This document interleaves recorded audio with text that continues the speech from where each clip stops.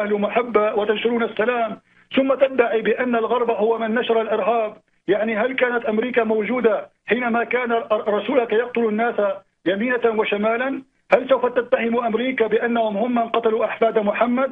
هل ستتهم عائشة بأنها كانت عميلة للسي آي اي ماذا تقول يا هذا؟ صراحة المسلمين أرى فيهم عجبا عجابا. ثم يقول أن آه، آه، الإسلام يعني ليس فيه تعصب. أنا أتحداه وأسأله لماذا في إيران الآن مساجين مسيحيون؟ كل جريمتهم أنهم بشروا بالدين المسيحي وهناك قسيس سوف يعدم قريبا فقط لأنه ترك الإسلام وأصبح مسيحيا. ثم تتكلم عن التعصب أنت في أمريكا تتكلم عن الإسلام وتبشر في الإسلام ولا قتلوك ولا ولا شبه لك. البث المباشر أنت مسموع يعني حاليا. تفضل. طيب طيب. بسم الله الرحمن الرحيم. نعم. يعني أنا أتعجب هذه الكمبيوتر بها حساسية فقط حينما وصل إلى إسرائيل. م. على كل حال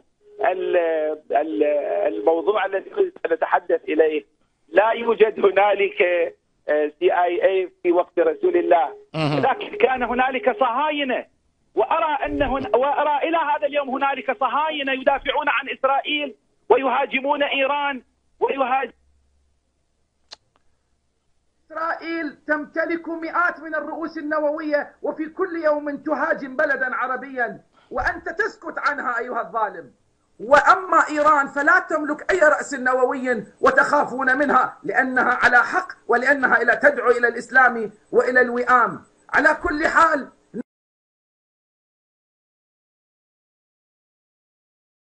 ولكن أبشرك ببشارة في القرآن. قالها الله تعالى وإذا جاء وعد أخراها هنالك كرة أخرى لأن الصهاينة هم ظلم الآن وهم يقتلون الأبرياء في فلسطين والعملاء من أمثالك يدافعون عنهم وعن جرائمهم. لذلك أقول لك أن القرآن يبشرنا بعودة المسلمين إلى القدس وقريب وإن شاء الله سوف يطرد من أمثالك الصهاينة من القدس الشريفة التي دنسها الصهاينة من أمثالك والأعوان إسرائيل من أمثالك. فأبشرك ببشارة بشرنا بها رسول الله محمد من عند الله تعالى. في القرآن الكريم سوف يأتي اليوم القريب الذي يدخل فيه المؤمنون إلى القدس ويطردوا من أمثالك و